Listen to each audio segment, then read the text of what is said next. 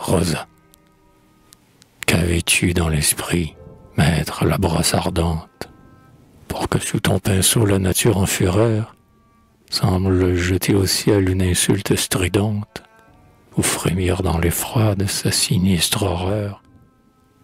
Pourquoi dédaignais-tu les calmes paysages, dans la lumière au loin ourlant leurs horizons, les lacs d'azur limpide et sur de frais visages, l'ombre du vert printemps qui fleurit les gazons il te fallait à toi l'atmosphère d'orage, quelque ravin bien noir où mugisse un torrent, qui boit et revomit l'écume de sa rage, quelques fauves bandits sur des rochers errants. L'ouragan qui s'abat sur tes arbres d'automne rugissait, n'est-ce pas, en ton âme de fer. Tu ne te plaisais pas au bonheur monotone, mais au transport fougueux déchaîné par l'enfer.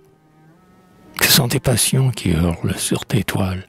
Toi-même, tu t'es peint dans ces lieux dévastés, dans ces chaînes tordant, sous la nuit sans étoiles, sur l'abîme béant leur tronc décapité.